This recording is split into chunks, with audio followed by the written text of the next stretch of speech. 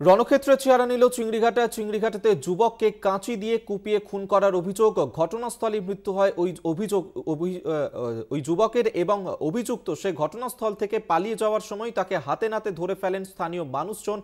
গণপ্রহার দেওয়া হয়। ঘটনাস্থলে আজ সকালবেলায় যখন গিয়ে পৌঁছায় পুলিশ, সেই সময় পুলিশকে ঘিরে ধরেও বিক্ষোভ দেখান স্থানীয় মানুষজন।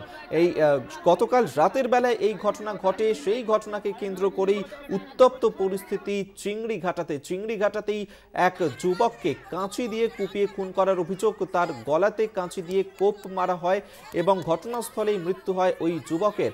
অভিযুক্ত ঘটনাস্থল থেকে পালিয়ে যাওয়ার সময় তাকে হাতে নাতে ধরে ফেলেন স্থানীয় মানুষজন এবং স্থানীয় মানুষজন গণপিটুনি দেন ওই অভিযুক্তকে। এই ঘটনার পরেই ঘটনাস্থলে গিয়ে পৌঁছায় পুলিশ।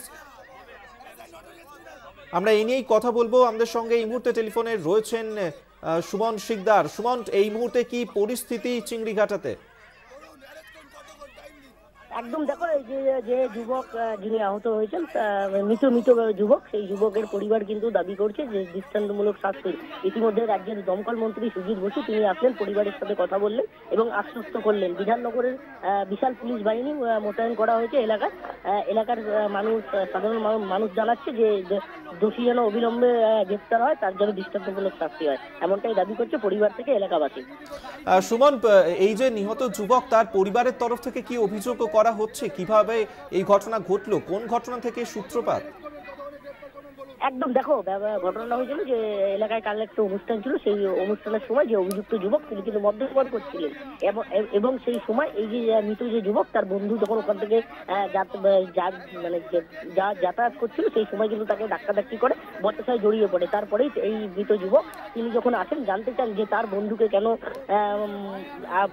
ধাক্কাধাক্কি করা হলো, সেই সময় কিন্তু ছুরি ছুরি দিয়ে আঘাত করা হয়, কাঠি দিয়ে আঘাত করা হয়। এমনটাই স্থানীয়রা জানাচ্ছে।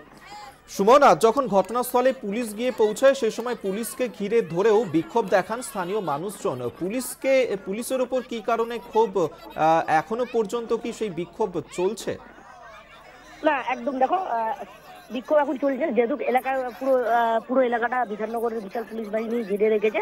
এই মুহূর্তে রাজ্যের মন্ত্রী যেমন এসেছিলেন পাশাপাশি বিধাননগরের উচ্চ পদস্থ আধিকারিকরা তারা ঘটনাস্থল পরিদর্শন করছে। পুরো মূল বিষয়টা জানার চেষ্টা করছে। তদন্ত নেমেছে বিধাননগর নর্থ থানার পুলিশ। যে কি কারণে এমন একটি ঘটনা ঘটলো, যার জন্য এই যুবকের প্রাণ গেল, সেই বিষয় নিয়ে তদন্ত করে দিচ্ছে বিধাননগর দক্ষিণ থানার পুলিশ। সুমন, যে অভিযুক্ত তাকে কি গ্রেফতার করা হয়েছে?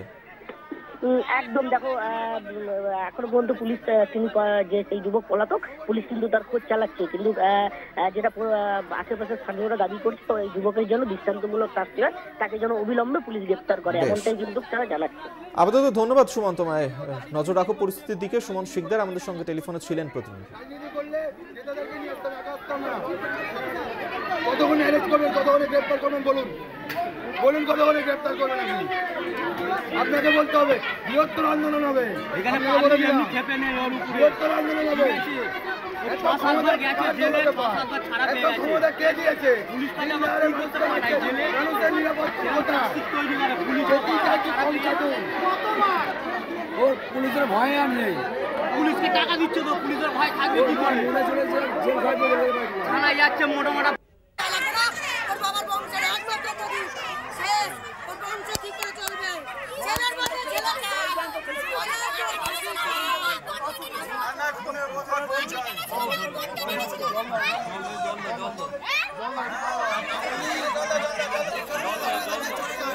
আসামিকে অ্যারেস্ট করো আসামিকে করো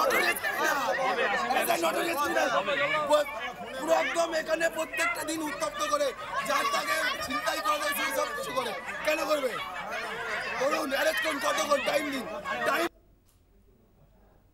যাই আমার বলাইছে আর কি কি হয়েছে আমি বুঝতে পারি না ওখানে লোকরা কি কি করছে। হ্যাঁ ভর তো সব লোক বাইরেই গেছে আবার নাতিরি লই চলে গেছে। ঠাকুর বিসর্জনের জন্য প্রোগ্রাম চলছিল রাত্রি বারোটা একটা নাগাদ।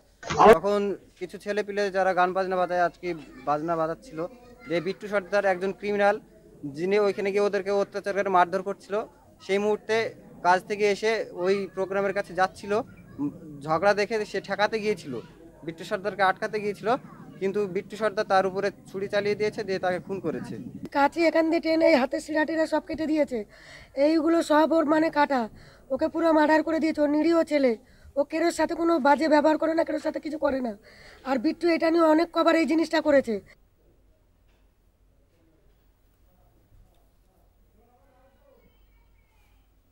আপনাদেরকে শোনালাম সেখানকার স্থানীয় মানুষজন তাদের বক্তব্য এবং রণক্ষেত্রের চেহারা নেয় এই মুহূর্তে চিংড়িঘাটা। চিংড়িঘাটাতেই সেখানেই এক যুবককে কাঁচি দিয়ে কুপিয়ে খুন করার অভিযোগ এবং সেই ঘটনার প্রেক্ষিতেই উত্তপ্ত হয়ে ওঠে পরিস্থিতি।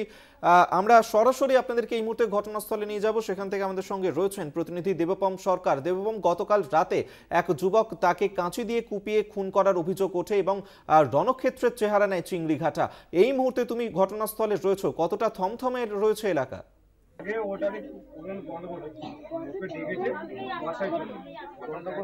দেখো তোমাকে দেখানোর চেষ্টা করব এই যে কর্নারের যে ঘর এই ঘরটাই কিন্তু সাহেব আলী সর্দারের কিন্তু ঘর। এবং এখানেই কিন্তু তিনি ছিলেন গতকাল।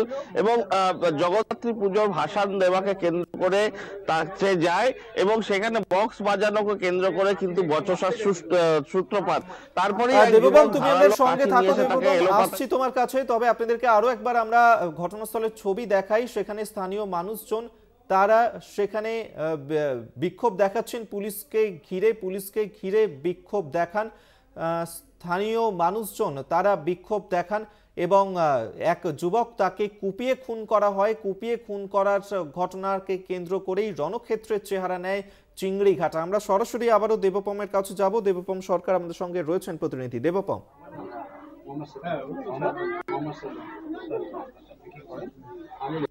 যেটা জানাচ্ছিলাম সেই তাকে বাঁচাতে গিয়ে আরেক যুবকও কিন্তু তাকে ছুরি দিয়ে কিন্তু আহ, কোপানো হয়। এরপরে সেই ব্যক্তি কিন্তু চম্পট দেন। কি হয়েছিল গতকালের বিষয়টি সেটা জানার চেষ্টা করব। দাদা একটু আসুন একটু আসুন আপনার সাথে কথা বলি। গতকাল কটায় এই ঘটনাটা ঘটে? এটা ঘটে প্রায় আমাদের হচ্ছে বারোটা দশ থেকে পনেরো মিনিট হবে তখন হচ্ছে ছেলেটার নাম কি? নামটা কি? সর্দার। সর্দার নাটা। সর্দার হ্যাঁ। সাইবুলি আলী সর্দার। হ্যাঁ, তারপরে কি হলো? বক্স বাজার ছিল? বক্স বাজার ছিল আমাদের একটা লেবারকেও আমার মেরেছে। আমাদের লেবার একটা বলেছে লাস্ট গান চলছে এইটার পরে আর চলবে না। ওকে আবার মারধর করতে ও ছুটে চলে যায়। তারপরে আমরা কি করি? ওইখান থেকে চলে আসি। আমরা আর ভাসানে যেতে পারছি না দেখছি ওইখান থেকে এসে বলার পরে কথা কথা আমরা আর কথা বলতে পারিনি। ওর- ওর উপর কথা বলতে গেলে তো আমাদের ছুরি খেতে হবে না চাকু খেতে হবে। আমরা কথা বলিনি বলে চলে এসেছি। এসে আমাদের একটা রাধা গোবিন্দ মন্দির আছে ওখানে বসে বসে বিড়ি খাচ্ছি ওখানে দিচ্ছি যে এই অবস্থায় তারপরে তার নাম কি? তার নাম বিট্টু সর্দার। না না যে মেরেছে যে মেরেছে যে মেরেছে? বিট্টু সর্দার। আচ্ছা তার আগে তো ক্রিমিনাল রেকর্ড আছে তার হ্যাঁ ক্রিমিনাল রেকর্ড আছে পুলিশে না।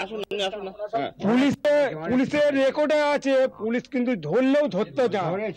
ওকে এক সপ্তাহ সপ্তাহ রাখছে রেখে পাঁচশো টাকা হাজার টাকা নিয়ে ছেড়ে দিচ্ছে। বিধায়ক এসেছিলেন তো আপনাদের হ্যাঁ সুজিত- হচ্ছে আমাদের বলছে যে একটু শান্ত থাকতে শান্ত আমরা থাকব কি করে? এ দ্বিতীয় পারে আজকের এইটা করে যে দ্বিতীয় পারে ছাড়া পেয়ে যে আমাদের আর একটা কাউকে যদি খুন করে কে দেখবে আমাদের? আমাদের বিধায়ক দেখবে না আমাদের কাউন্সিলর দেখবে না। আমাদের কেউ দেখার মতো কেউ নেই। না পুলিশ কেউ কোনো পুলিশ আসেইনি। এই দুর্ঘটনার পরে সকালবেলা পুলিশ এসে দেখছি ভর্তি হয়ে গেছে। পুলিশ প্রশাসন সব ভর্তি হয়েছে। এই বেলার দিকে। ওর ওর মতন পুলিশের মতন পুলিশ কাজ করে আর ও চুপচাপ বসে রয়েছে। এবার আমরা এদিক ওদিক ঘোরাঘুরি করছি। এবার কি বলব? আমি আরেকজনের সাথে কথা বলার চেষ্টা করব। দাদা একটু যদি আসেন একটু আসেন। বুঝতে পারছ শোকস্তব্ধ পরিবেশ এবং আমি একটু দাদা একটু একটু যদি আসেন একটু আসেন। এই ছেলেটার সম্বন্ধে কি কি অভিযোগ ছিল? এর আগে যে ছেলেটি ছুরি চালিয়েছে বা কাঁচি চালিয়েছে এই ছেলেটার বিরুদ্ধে কি অভিযোগ ছিল ক্যামেরা থেকে? এ ছেলেটার এখন অনেক কটা কেস আছে। এই পাড়ায় না তো কতগুলো চুরি চুরি তো আছেই।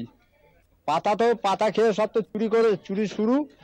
তারপরে এই মার্ডার করে একজনকে মার্ডার করেছে।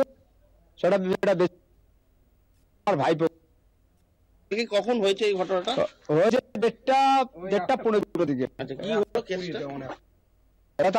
আমি- তো শিয়ালদা মার্কেটে ছিলাম। আচ্ছা। আমি খবর পেয়েছি তিনটে বেজে কুড়ে তিনটে বেজে মিনিটে তখন সাউথ বিধাননগর থানা যখন মুখে ছিল তখন আমি ওনাকে আমি অত রাবদারে আসছি। তারপরে স্যার আপনারা যে এখানে দাঁড়িয়ে আছেন তা আপনারা দেখবেন না ওখানে একটা ছেলে মার্ডার হয়ে গেছে। পুলিশ দেখে ওকে সাপোর্ট করছে। কাকে সাপোর্ট করছে? যে মার্ডার করেছে তার। আচ্ছা। ও আচ্ছা আমরা পাবো তারপর ওকে ধরবো।